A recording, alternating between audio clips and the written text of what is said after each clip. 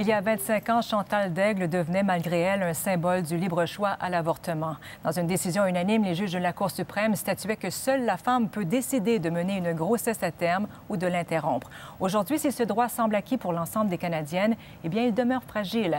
Anne Levasseur. Elle a crié, elle a dit 9-0, on l'a. Fait que moi, j'ai crié, j'ai dit aux autres qui étaient avec moi 9-0, on l'a. Fait que là, ça a été. Euh, les cris de joie dans la maison. Pour Chantal Daigle, cette victoire, c'était d'abord et avant tout une affaire personnelle. Enceinte et récemment séparée d'un conjoint violent, elle voulait avorter, mais le père s'y opposait. Sa bataille a rouvert un débat qu'on croyait clos avec l'arrêt Morgan Taylor.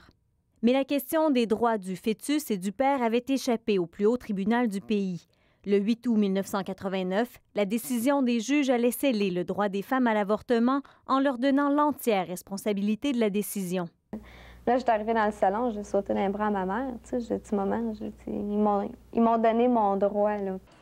Mais 25 ans plus tard, il ne s'agit plus d'un droit acquis. Je pense que ça a évolué, mais il y a encore des disparités qui sont absolument inacceptables. Par exemple, à l'île du Prince-Édouard, aucun médecin n'accepte de pratiquer l'avortement. Et au Nouveau-Brunswick, la seule clinique spécialisée a fermé ses portes. Donc les femmes de l'île du Prince-Édouard et du Nouveau-Brunswick sont en grande majorité privées de ce droit. Et de notre point de vue, c'est inacceptable.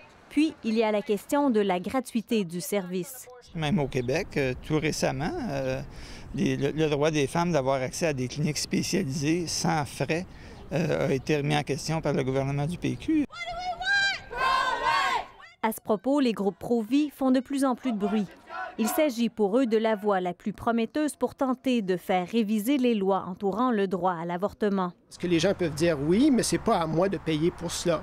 D'où l'importance de rester vigilant, selon la présidente du Conseil du statut de la femme. Euh, je crois que c'est un droit acquis de haute lutte, euh, mais euh, je ne pense pas qu'on pourra à ce point reculer que de rendre l'avortement payant, d'une part, et que d'en limiter l'accès. Et 25 ans après la victoire de Chantal Daigle, le débat reste quand même ouvert. Ici Anne Levasseur, Radio-Canada, Montréal.